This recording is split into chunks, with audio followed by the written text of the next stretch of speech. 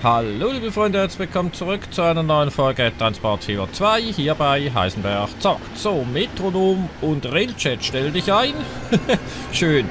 Ja, und jetzt gibt es hier noch einen Startlock-Kies und zwar Schlot hier durch. Jawohl, also die Linie haben wir, wir haben die Signale, wir haben eigentlich alles, außer ein Depot. Jetzt wurde ich gerade nochmal gerügt in den Kommentaren. Ich stelle immer wieder Depots hin, obwohl wir schon Depots haben. Äh, teilweise wirklich auch schon erreichbar. Also im Sinne von, dass man äh, den Zug auch dort hätte rausnehmen können. Ja, ich sag's gerne nochmal. Für meinen Geschmack kann es nicht genug Depots geben. Also die sind einfach schön. Das sind weitere Gebäude, die die Anlage ein bisschen verschönern. Also von daher, ich hätte am liebsten hier noch ein Depot. Aber ich lasse das jetzt mal. Weil vielleicht wollen wir hier mit den Gleisen auch mal noch raus.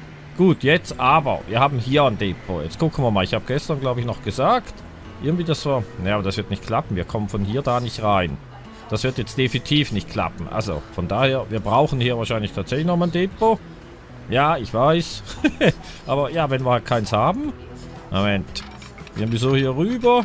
Ja, man sieht, nee, das ist natürlich von der Kurve her nicht zu machen. Da wären wir hier. Wenn es denn funktionieren würde. Das würde funktionieren, wenn hier die Weiche nicht wäre. Ja, und dann irgendwie dort rein. Nee, das ist doch Käse. Das gefällt mir überhaupt nicht. Also nochmal ein Depot. Wohin mit dir? Jetzt schauen wir mal schnell. Ja, hier war die Idee. Das hätte natürlich schon was, aber eben, das sind eigentlich Gleise, die wir je nachdem noch nutzen wollen. Wobei, Moment, ich guck mal. Ich guck nur mal. Ich guck nur. Ich habe das Depot noch nicht gebaut. Ähm, so, wir haben hier zwei Linien, die wollen eigentlich nicht weiter. Das würde doch heißen, ich gucke nur. Äh, Moment, Depot. Und zwar das hier. Bisschen drehen. Ah, ihr habt Glück. Das passt genau nicht hier rein. Ach, wie schade ist das denn? Das wäre doch schön gewesen. Das passt rein, ist aber wahrscheinlich zu lang. Einmal drehen. Ja, nee, passt auch nicht rein und ist zu lang. Ja, okay, dann eben nicht. Hätte ja sein können. machen wir es hier hin. Oder wisst ihr was? Wir machen es hier vors Häuschen und gehen hier mit den Gleisen noch ein bisschen durch den Wald durch. Dann haben wir hier nochmal ein paar Gleise. Das ist doch auch cool. Jetzt ist halt die Frage, ja, das wäre schon. So für St. Gallen. St. Gallen darf schon irgendwie noch sowas haben. Hier zum Beispiel nicht mal vors Häuschen, sondern daneben. Jetzt versinkt es hier hinten ein bisschen. Das ist aber okay, denke ich. Zack, stellen wir mal hier hin. Das ist halt einfach wieder ein Gebäude, was cool aussieht. Also ich verstehe tatsächlich nicht, wie man Depots nicht mögen kann. Hier haben wir auch noch mal eins. Guck mal. aber das ist das Depot für, ja genau, für unseren Open-Air-Zug. So, gut, jetzt schauen wir mal, ob er mit dem Gleis da reinkommen. Ähm, machen wir 160er. Hier haben wir eine Kurve durch den Wald, haben wir gesagt. Und dann irgendwie hier rein. Ja, das scheint schon hervorragend zu klappen. Moment. Da ist genau noch die Straße. Das heißt, das funktioniert so nicht. Können wir andocken? Nein, aber wir können es anders machen. Machen wir das mal so. So, gehen hier rüber. Und jetzt müsste ich die Kurve eigentlich hinkriegen. Jawohl, passt. Und hier bei dem zweiten Gleis, das nehmen wir mal mit. Und das geht hier vorne in eine Weiche rein. Und zwar so. Und damit das jetzt nicht vergessen, machen wir gleich mal noch unsere Lichtlein hin. Auch bekannt als Signale. so, einmal.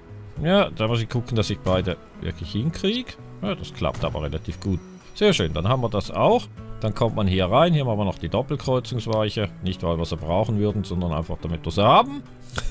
so, und dann kaufen wir den Zug. Stadler Kies wäre angesagt. Den müsste ich relativ easy finden. Der war wahrscheinlich bei Triebwagen elektrisch.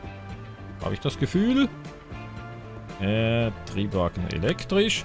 Und dann hier ganz unten. Da, Stadler Kies 2, Stadler Kies 1. Wir schauen mal. Oh, da haben wir eine riesen Auswahl. Das Problem ist ein bisschen, die Strecke ist so lang dann doch nicht. Ich würde sagen, wir machen eine Mischung. Also sicher den hier, weil das ist der Stadlerkiste, den ich kenne. Den hätte ich mal gerne. Kaufen wir. Dann, ja, im Prinzip bräuchte man halt schon alle. Westbahn sechsteilig. Halt, du musst weichen. So, kaufen. Zack. Was haben wir hier noch? Das wäre der dritte. Ich muss mal, ich muss zählen tatsächlich. Und dann werde ich rausfinden, ob es reicht. Der ist relativ kurz hier. Den mache ich nochmal weg. Dann nehmen wir den sechsteiligen. Ja, gefällt mir besser. Kaufen wir. Löschen wir. Gehen zum Stadler Kies 2. Ja, und jetzt haben wir hier halt tatsächlich nochmal eine Riesenauswahl. Wobei hier haben wir so viele gelbe, das sind einfach verschieden lange. Ja, aber das sind zu viele Züge. Also, weil die Strecke ist tatsächlich nicht ewig lang. Lass uns mal den O-Deck noch dazu nehmen. So, hinzufügen. Gibt es den nicht länger? Nein, eigentlich nicht. Oh, hier, der ist halt auch sehr, sehr cool. Ich kaufe den mal noch. Sonst mal eine extra Schlaufe hin. Bei der Strecke. Dass wir da nochmal irgendwie eine Kurve einbauen, damit die Züge alle raufpassen. So, jetzt haben wir 1, 2, 3, 4, 5. Ich hätte gerne noch so einen gelben. Den brauchen wir irgendwie einfach auch noch. Dann haben wir sechs Züge. Ich hoffe, das klappt. Sonst werden wir es sehen. M. Ja, kaufen. Zuweisen. Ne, nicht Open Air Express, sondern Lüttich St. Gallen auch nicht. Da, Stadler Kiss. Nach Mühlacker. Zack, machen wir zu. Es rechnet noch, sind ein paar Züge. Und dann gehen wir mal gucken, was hier Schönes rauskommt. Im Idealfall ein Stadler Kies, beziehungsweise mehrere. Ja, mit welchem fahren wir denn da mit? Das werden wir dann noch schnell gucken. Da hinten kommt noch die Straßenbahn, das Tram von St. Gallen. Cool. Ja, es fängt an, hier sich zu bewegen, das Ganze. Da oben sehen wir noch Kollege Big Boy. Das weiß ich nicht, weil ich es erkenne, sondern weil da oben halt die Big Boy fährt. das war jetzt relativ easy. Kommst du auch noch? Der ist aber bedenklich langsam, der Kollege. Habe ich hier 10 km/h Gleise? Ich glaube nicht. Oder schon? Moment. Äh, mal gucken. Ne, 70. Also von daher. Ja, jetzt wird auch ein bisschen schneller. Aber cool ist der natürlich definitiv. Haben wir hier eine Cam? Ich glaube ja. Jawohl, sogar ein relativ großes Fenster. Ich gucke mal kurz bei den Kameras. Ja, ist glaube ich aber auch wieder das gezoomte Teil. Aber da könnte man je nachdem tatsächlich... Oh, auch sehr nett. Äh, uh, das ist... So Sachen liebe ich natürlich. Hier der, das Innenleben des Zugs hier sogar mit Treppe. Da können wir uns auch ein bisschen bewegen. Das war die falsche Richtung. Ja, schaut mal, das sieht schon klasse aus. Also das muss man tatsächlich wirklich sagen. Wie geht es hier runter so? Ja, und dann ganz nach vorne. Cool, cooles Teil. Okay, gut, gehen wir wieder raus, weil wir wollen ja noch mitfahren, haben wir gesagt. Ich würde aber sagen, die Führerstandsmitfahrt hier, die wäre eigentlich gar nicht so schlecht. Wenn wir Performance haben, das müssen wir halt gucken. Weil das hatten wir ja schon mal, dass einfach die Performance... Die Performance flöten geht, wenn man diese Kamera hat. So, der nächste Kollege. Das müsste Odek, also die Odek-Variante sein, würde ich jetzt mal behaupten. Warum wartet der? Ja, der musste erst vom Signal runter, beziehungsweise am Signal vorbei. Okay. Na? Jawohl, Odek, genau. Erkennt man einfach an der Lackierung. Auch sehr schön. Mit eurem Einverständnis würde ich das Ganze mal ein bisschen beschleunigen. So, dass der rausfährt, damit wir alle Züge wenigstens einmal sehen. Und dann können wir mit dem letzten dann mitfahren. Weil man sieht, das dauert selbst, wenn wir hier im schnellsten Tempo unterwegs sind. Momentchen, weil er wieder warten muss. Ist der hier noch nicht weitergekommen? Doch, jetzt fährt er. Haben wir hier keine Signale mehr? Doch, da vorne. Also der käme hier rüber, könnte dort warten. Das passt schon. Ja, ja, die Straßenbahn muss warten. Jetzt dachte ich schon, wir hätten hier ein Problemchen. Aber das ist ja eigentlich auch ein schönes Bild. Cool, die Straßenbahn auf der Schiene wartet auf den Zug auf der Schiene. Da hinten kommt schon der nächste, der hat hier ein Signal, der müsste also warten. Naja, aber das dauert jetzt ein Momentchen, bis wir hier rauskommen. Ich verstehe aber auch nicht, warum der dermaßen langsam ist. Ja, ich meine, wir haben hier eine Kurve, das ist mir klar, aber also das ist ja Schritttempo. Das ist ja eigentlich langsamer als Schritttempo, weil schon. Kommt der hier überhaupt rein? Doch, von der Länge her müsste es passen. Aber guck mal, haben wir hier 10 km/h Gleis? Das glaube ich eigentlich auch nicht, aber das sieht irgendwie fast ein bisschen danach aus. Nee. 55, 53, 55, 55, also vom Gleis her passt alles. Warum der dermaßen schleicht, es ist mir tatsächlich ein bisschen Rätsel. Das ist doch nicht normal. Geht's dem gut? ich verstehe es nicht. Naja, machen wir nochmal hier den, weil sonst dauert es Ewigkeiten. Oh, aber dann wird der Metronom so schnell. Nee, das ist nicht anzugucken. Mal wieder langsam. Ich würde sagen, wir machen es anders. Wir steigen in den hier ein. Wobei, dann sehen wir die Züge nicht. Das ist ja auch irgendwie Käse. Da hinten steht äh, der Kollege der Westbahn. Hä? Also das ist ja wirklich ganz merkwürdig. Der ist schon so langsam aus dem Depot rausgekommen. Nicht, dass die jetzt dann die ganze Strecke in dem Tempo bewältigen wollen, weil dann dauert es dann tatsächlich ein Momentchen. Wir hätten hier noch was anderes zu tun auf der Anlage. So, der Metronom fährt los. Der zeigt eigentlich dem Stadler Kies, wie es geht. Nämlich mit ein bisschen Schwung. Oder ist hier im Bahnhof drin irgendwie was nicht in Ordnung? Dass diese Gleise so langsam sind, das kann doch auch nicht sein. Guck mal, der ist immer noch am Üben hier. Wird er schneller, wenn er hier runter ist? Ich meine, ist ein schönes Bild. Stadler Kiss, Metronom, Railjet, da hinten der andere Zug und hier noch Kollege Big Boy. Ja, also massiv schneller wird er nicht. Also irgendwas stimmt nicht, würde ich behaupten. Aber ich wüsste jetzt nicht, was an den Gleisen nicht stimmt. Oh, habe ich hier mit die Fake-Variante? Haben wir hier eine Fake-Variante? Das müsste man mal noch prüfen. Weil teilweise gibt es natürlich bei Zügen äh, die Fake-Variante. Und die fährt nicht schneller. Wozu auch? Äh, welchen habe ich? Ich glaube, den bewegt, bewegt, bewegt, bewegt. Ne, wir haben hier keine Fake-Variante. Hier nochmal schnell gucken. Ne, das sind alles ganz normale Züge die wirklich sozusagen für den Verkehr zugelassen sind, die nicht dafür gedacht sind, dass man sie irgendwo hinstellt und sich an der stehenden Variante erfreut. Der fährt immer noch nach da hinten. Soll ich den mal nochmal verkaufen? Weil irgendwie, das gibt mir schon ein bisschen zu denken. Aber ich weiß nicht, ob er schneller ist. Wir schauen jetzt mal, wie er rausfährt. Mit was für Tempo. So, wie gesagt, der Metronom, der kann's. Also von daher verstehe ich nicht, warum es der Stadler Kiss nicht kann. Einfach rausdüsen. Der wartet noch, sehr gut. So, bewegt sich der jetzt schon vorwärts oder was macht er? Ne, der bewegt sich allen Ernstes immer noch zum Bahnhof hin. Also ich gucke mir das jetzt genau noch ein Momentchen an und schaue, wie der rausfährt. Und sonst müssen wir hier was ändern, weil äh, das geht natürlich tatsächlich. Aber mir ist wirklich ein Rätsel, warum der so lahm ist. Also das kann doch hier nicht am Bahnhofsgleis liegen. Jetzt fährt er raus. Jetzt bin ich gespannt. Das ist auch irgendwie die ultralahme Variante. Ja, ne, ein bisschen schneller ist er, aber das, äh, das ist jetzt eigentlich minim schneller. Ja, aber ein bisschen, er kommt ein bisschen in die Gänge. Wir lassen ihn mal für den Moment, würde ich sagen, lassen wir ihn mal fahren. Oder hat der irgendwie eine Spezifikation, dass er nur 3 km/h fährt? Also das glaube ich eigentlich auch nicht. Da haben wir gerade noch ein Autosave. Deswegen stehen leider unsere Züge noch mal ein Momentchen. Also das ist nicht, äh, dass er jetzt gar nicht mehr fährt, sondern eben. Kollege Autosave hat hier noch reingespielt. Ja, es ist... Es ist schneller, okay, gut. Aber wenn der jetzt das gleiche Problem hat, dann wird es lustig, weil dann... Ich weiß auch nicht, dann können wir dann in drei Wochen mal mitfahren mit den Zügen, wenn wir uns noch alle ansehen wollen. Jetzt kann der fahren. Ja, ist leicht schwungvoller. Ja, doch, das ist, würde ich sagen, das, das normale Tempo, wenn er jetzt hier nicht runterbremst. Was hat denn der gelbe Kollege für ein Problemchen gehabt? Guck mal. Der fährt doch ganz normal. Das ist so das Tempo, das man halt hat, wenn man in den Bahnhof reinfährt. 43 km/h ist jetzt auch nicht irgendwie massiv Tempo. Ja, Details. 160 km/h. Ich habe nichts verändert an dem Zug. Ich weiß nicht, was der für ein Problem hat. Werde immer noch mit 44 km/h. Jetzt mit 45. Okay, nicht übertreiben. mein Guter. Der ist ja unglaublich langsam. Also irgendwas stimmt mit dem Zug nicht, habe ich das Gefühl. Da. Ich meine, klar, wir haben eine Kurve, aber jetzt... Ich lasse ihn mal ein Momentchen fahren. Da hinten haben wir eine relativ gerade Strecke. Wenn er dort auch nur auf 50, 60 kommt, dann werden wir den ausmustern. Anders geht's nicht.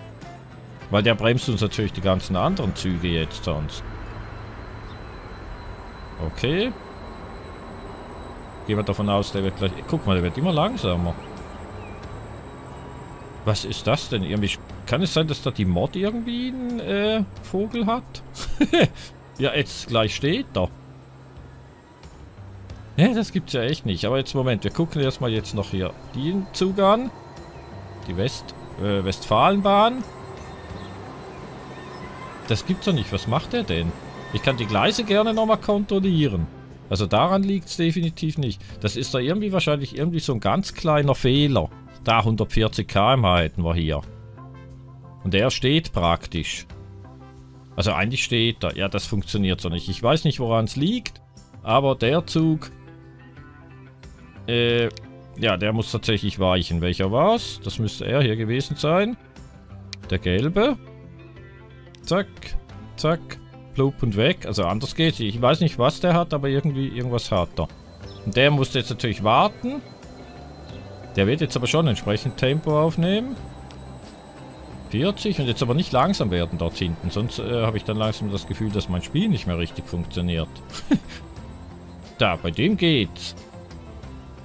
Ja, 60 km 70, ja, ja, okay, also das, das passt definitiv, weil das liegt an den Kurven. Aber was der gelbe Kollege jetzt hatte, ich weiß es auch nicht. So, hier er. Jetzt wollen wir uns, wie gesagt, natürlich alle kurz ansehen. Dort ist der andere. Und hier kommt er hier. Auch sehr schön, das Exemplar, definitiv. Und da hinten kommt noch einer und dann haben wir es, glaube ich. Das ist der Stadtlochkies, den ich tatsächlich hier aus der Region kenne. Das sieht man auch. Guck mal hier unten. Das habe ich schon mal gezeigt. Da, da ist tatsächlich das Wappen des Kantons St. Gallens. Und das ist, wo ich wohne. Und auch gerade sitze und aufnehme. so, ich wollte eigentlich tatsächlich in New York dann gleich mal noch was machen. Ich weiß nicht, ob wir das noch hinkriegen. Nachdem jetzt dieser eine Stadtlochkies tatsächlich einfach ein bisschen gestreikt hat. so, er fährt raus, er fährt rein. Ich würde sagen, wir setzen uns wie eigentlich vorgesehen mal hier rein. Oh, jetzt haben wir hier keine Kamera. Tatsächlich. Das ist wahrscheinlich... Kann es sein, dass das die Vanilla-Version ist? Äh, und das andere gemoddete sind? Und deswegen haben wir hier keine Kamera. Man kann es auch so machen, aber dann ist das Ganze so komisch eingedunkelt. Sollen wir den Klassiker machen? Hier auf dem Dach? Ich denke, das ist auch okay. Vielleicht ein bisschen weiter vorn. Ja, so, dass wir noch ein bisschen was von der Landschaft sehen. So, der eine fährt los. Also dieser gelbe Zug, der beschäftigt mich jetzt tatsächlich gerade ein bisschen. Bin gespannt, ob ihr da eine Idee habt, äh, wo da das Problem ist. Keine Ahnung. Wie gesagt, es kann eigentlich nur an den Schienen liegen oder eben am Fahrzeug, dass das irgendwie eine limitierte Höchstgeschwindigkeit hat oder eben ein Fake-Fahrzeug ist, aber ansonsten... Hm. Tja. Egal, wir haben ja jetzt hier unseren Zug. Da, jetzt sieht man das Wappen nochmal relativ gut. SBB CFF FFS. Jetzt der Kollege sollte dann an uns vorbeifahren. Das wird er auch tun. Machen wir mal aus der Position. Und danach haben wir dann auch endlich freie Fahrt. Und ich hoffe, dass nicht wieder irgendwo einer steht und dann mit irgendwie 3 km/h rumprotzt. auch schön natürlich diese Variante hier. So, wir setzen uns wieder in Gang. Gehen wieder eins hoch. Jetzt werde ich die Kamera nicht bewegen. Es heißt immer wieder, du bewegst die Kamera zu viel. Aber ich möchte halt ein bisschen äh, unterschiedliche Ansichten jeweils haben. Ich möchte nicht nur diese Perspektive haben. Ich möchte auch mal noch ein bisschen was vom Zug selber sehen. Also von daher mache ich das auch weiterhin. Ich werde aber nicht jetzt hier im 30 Sekunden Rhythmus die Position wechseln. Da braucht ihr auch keine Angst haben. Und schon bewegt er die Kamera. ja, mal ein bisschen gucken. Bahnhof St. Gallen, sehr nett. War ich gestern auch gerade. Also nicht am Bahnhof selber, aber dran vorbeigefahren. So, einmal wenden. Ich hoffe, wir bleiben hier sitzen, wo wir sind. Jawohl. Ja, könnte sogar noch passen. Interregio nach Burg-Baden. Das ist zwar nicht in der Nähe von, äh, von St. Gallen, aber es ist natürlich zumindest das gleiche Land. Und wenn der Zug hier nach Zürich fährt, äh, dann könnte er auch weiter nach Burg-Baden. Ja, auch nach Basel. Definitiv. Cool. so, rechts wird äh, dann zum Depot gehen. Das wollen wir aber natürlich nicht. Da, wir haben hier schon 100 km drauf. Seht ihr? Also, das ist ja schon... Der gelbe Kollege hat da einen an der Waffel. Was hat der denn für ein Problem gehabt hier? Ganz interessant. Na ja gut, jetzt ist er halt rausgeflogen. Jetzt haben wir wenigstens nur 5 Züge. Ich habe eh gesagt, wir haben eigentlich zu viele Züge. Äh, wir werden es jetzt sehen. Wenn wir freie Fahrt haben, dann geht es mit den 5 Zügen. Und ich denke jetzt mal, es müsste mit den 5 tatsächlich auch funktionieren. Weil ein bisschen Strecke haben wir ja schon. So, Achtung, ich werde hier mal kurz das Ganze so machen, dass wir den Zug noch ein bisschen sehen. Zurück. Naja, 150. Also, äh, okay, ich komme jetzt nicht mehr auf das gelbe Fahrzeug zu sprechen, aber irgendwie merkwürdig ist es ja trotzdem. da der Hybrid, der ist nochmal ein bisschen schneller als wir. Der hat wahrscheinlich gerade knapp 300 drauf gehabt, aber wir haben immerhin 160, also langsam sind wir natürlich auch nicht. Nochmal ein bisschen nach vorn, nochmal rauf. So, dann sehen wir schön die Strecke. Oh, ich muss nochmal kurz, sorry. Weil wenn wir kreuzen, finde ich das eigentlich die beste Position.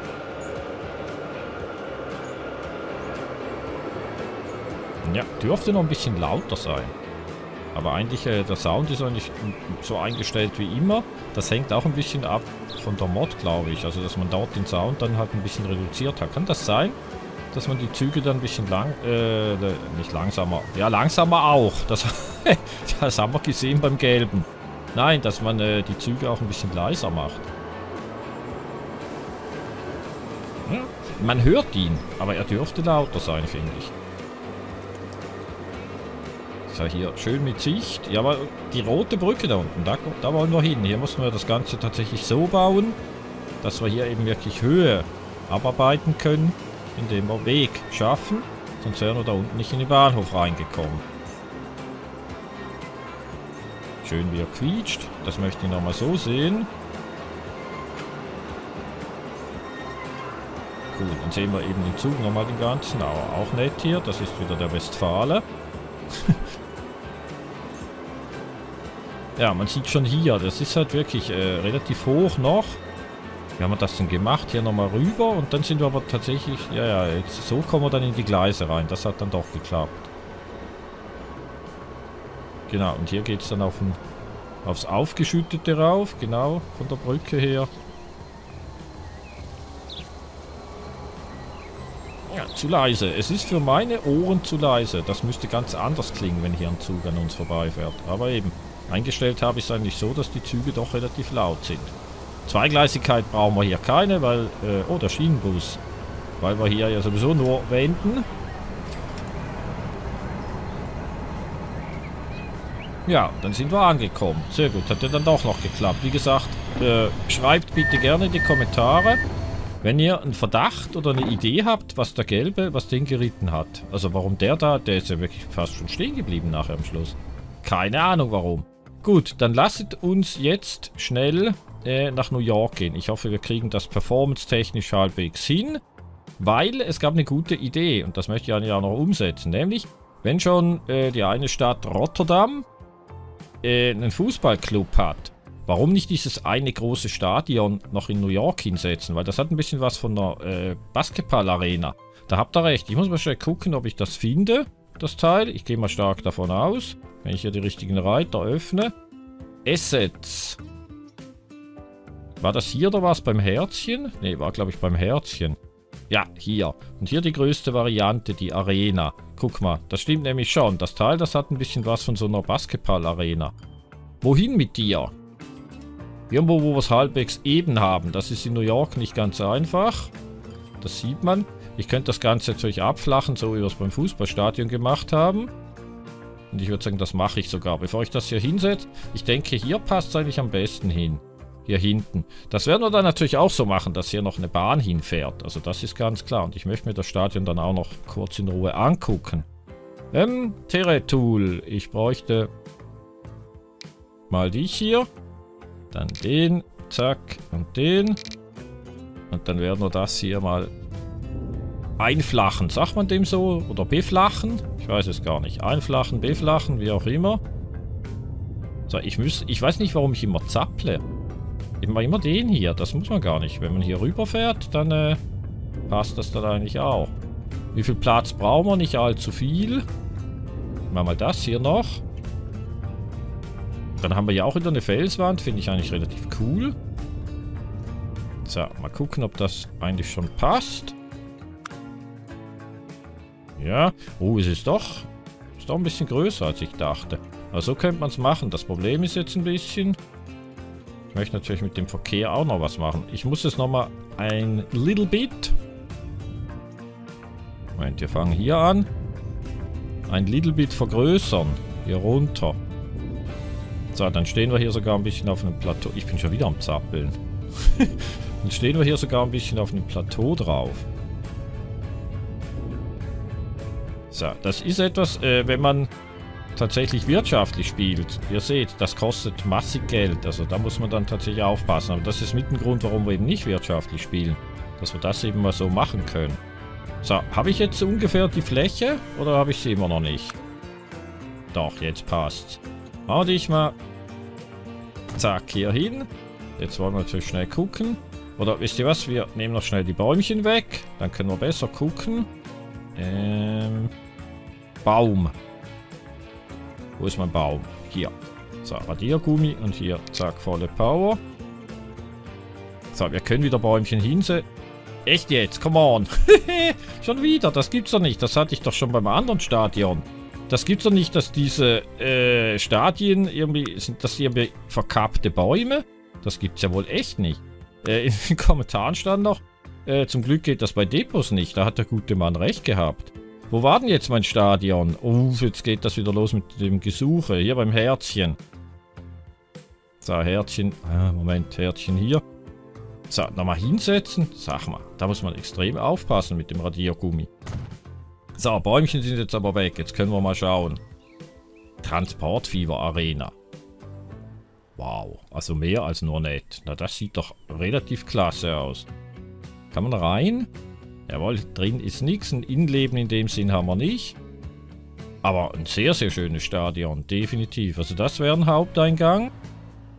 Ja, im Prinzip auf allen Seiten. Hier blinkt es sogar noch. Ne, doch nicht. Das ist wieder ein Grafikbug, dass das blinkt. Transportfieber Arena. Ja, cool. Dann klar. Hier werden wir jetzt natürlich noch Straßen hinpflanzen. Wir werden gucken, einen kleinen Bahnhof machen und dann wollen wir irgendwie hier noch nach New York City rein mit irgendwie noch kleinen S-Bahn.